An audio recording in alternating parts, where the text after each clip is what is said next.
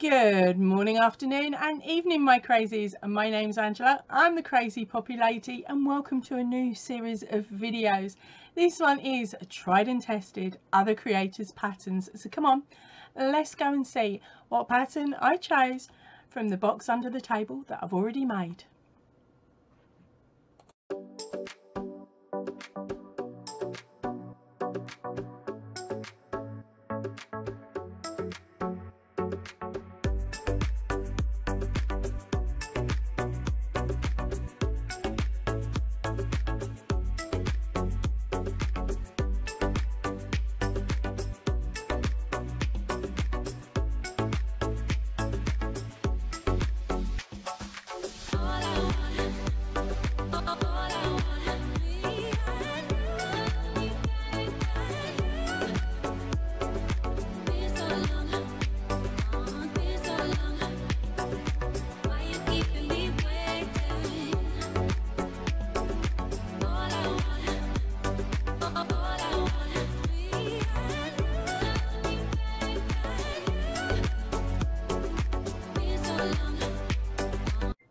Okay, so as my opening titles stated, it's a, a pattern from the box under the table.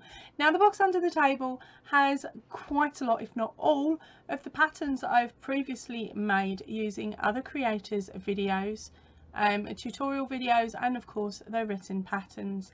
Now, or even something out of a book or a magazine. My theory behind this is that by me showing you all these different items it may be ones that you hadn't seen me a show on YouTube already or it may be ones that you hadn't even spotted yourself. So it's a nice way of introducing you to some patterns that I know I've tried and tested and that I can honestly tell you whether I like it or whether I don't. Um, and also I will tell you of any differences between the original pattern and item and the item that I have made. Okay, so time for me to go under the table and pull out the first item. See you in half hour. No, I'm only playing. Editing's brilliant, isn't it?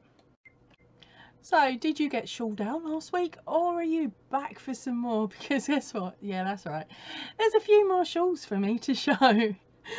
oh, it's bad, isn't it? Okay, the very first one up was a very early, early shawl for me to make. And this is such a simple shawl and it's made with a mandala cake free crochet pattern. That's the name of it and it's by a Wilhelmina Westenberg. Now I used um, I think it was a papaya cake which is basically a mandala um, the Lion Brand mandala cake but under a different label. And I believe the um, colorway was actually called unicorn as well. So I'm just trying to find the top of this now, as I said, this is a really lovely, a really easy shawl to do. Na, na, na. Okay, so the majority of this one is in fact double crochet. So if you only really know how to chain and do a double crochet, that's US terms, then you will still be able to make this one, okay? It even comes with how to do tassels for the ends. So if you really fancy trying something completely new, if you haven't ever made a tassel, you can of course make a tassel for this as well. Um, so yeah, this one didn't take me too long in the big scheme of things and back then and to be honest now I'd probably be able to knock this up in maybe two evenings if that new day new change of clothes right the uh, next I I wanted to show you. I don't actually have any more. It now lives in Australia with my mother-in-law who told me last night I used it because it's getting cold today. which was really really cool she said that to me yesterday right anyway the, I've got some a photo a photograph of it which I will uh, put up now for you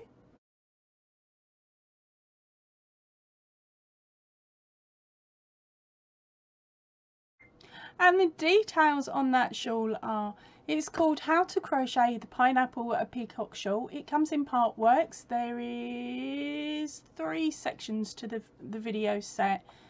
Okay um now i used aldi dk and i chose to mix all those different colors together and i mucked around with it basically. Now I made that on a 3.5 millimeter hook. Absolutely loved the pattern. For when I did it within my crochet journey, there was um, there was a lot of frogging involved, I'll put it like that. I wasn't overly confident with making really lacy shawls. But once I got into the swing of things and remembered to um, mark off the row I did as I completed it, um, I found it a lot, lot easier.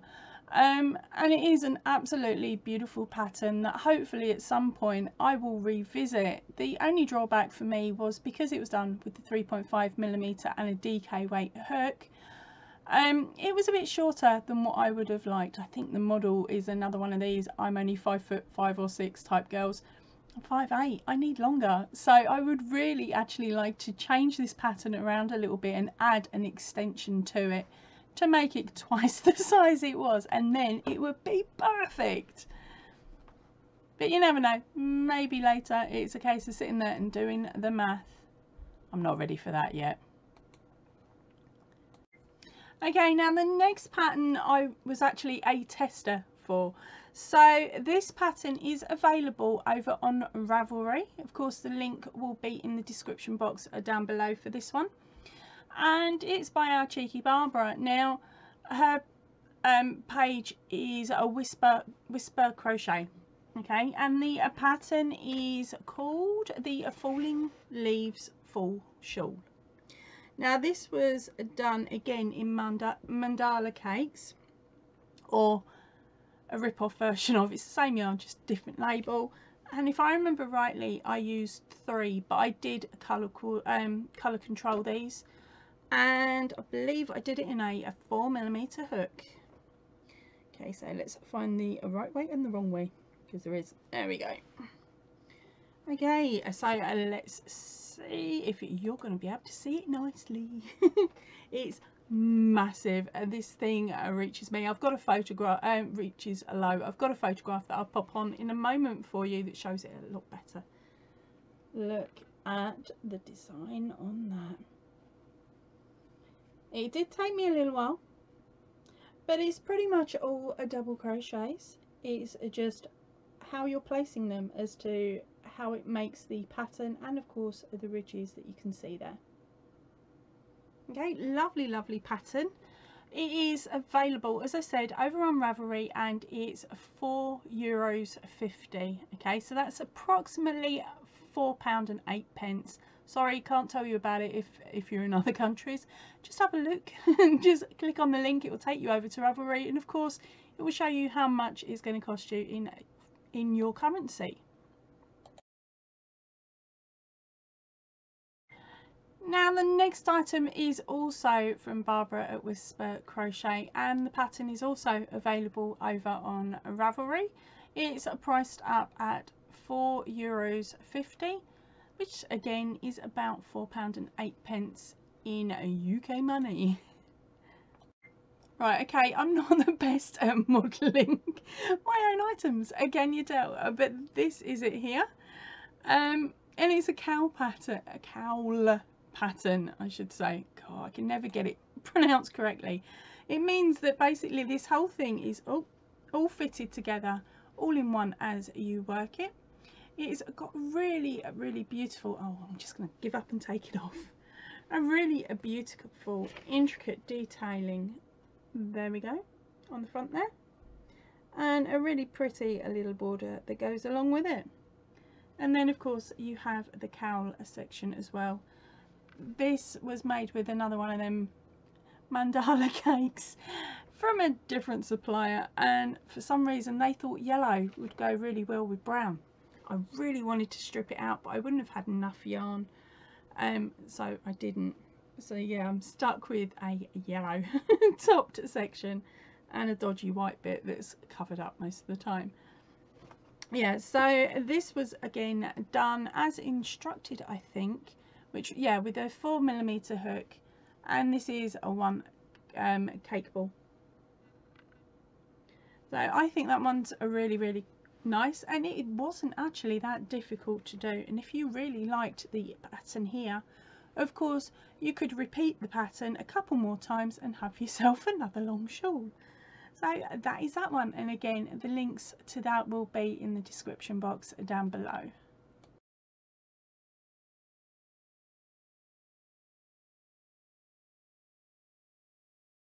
Okay so it's a nice short sharp episode this week because I don't want to run out of stuff and I realise the last two weeks I've been bombarding you haven't I with um, new to you or possibly a new to you patterns.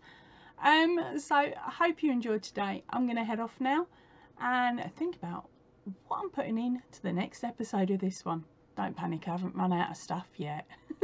Right that is it for me for today. I will see you all really really soon. So please remember stay chilled stay happy and keep crafting goodbye everybody